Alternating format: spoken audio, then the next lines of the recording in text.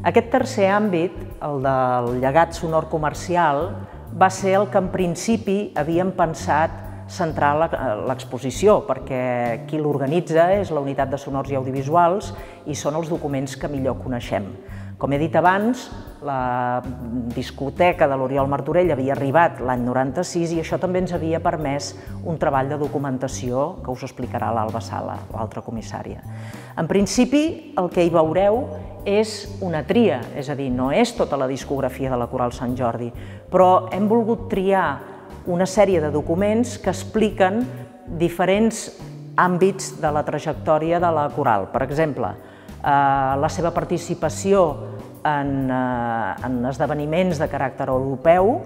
eh, els seus concerts eh, per exemple, el Concert Mil, que va ser un disc emblemàtic, la seva participació també en la, o la seva contribució en l'antologia la, històrica de la música catalana, dirigida pel mateix Oriol Martorell, o col·laboracions amb cantautors de la nova cançó. I aquest és el recorregut que podreu veure en els discos seleccionats. Un dels aspectes més importants que hi ha a l'hora de muntar una exposició és la part de selecció dels documents i aquests documents eh, revisar-los, revisar com estan fetes les catalogacions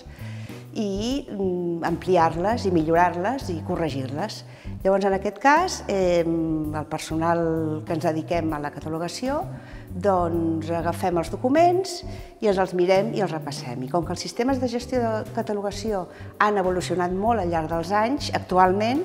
ens permet eh, poder posar, per exemple, un camp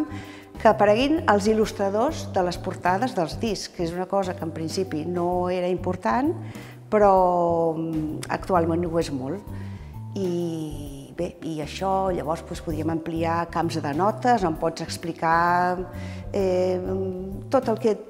la història del document, algunes dades, vull dir, et permet posar-ho absolutament tot i relacionar-los entre ells. I això és el que hem fet aquí, és una feina llarga, que no es veu, però que compensa molt poder arreglar aquestes catalogacions.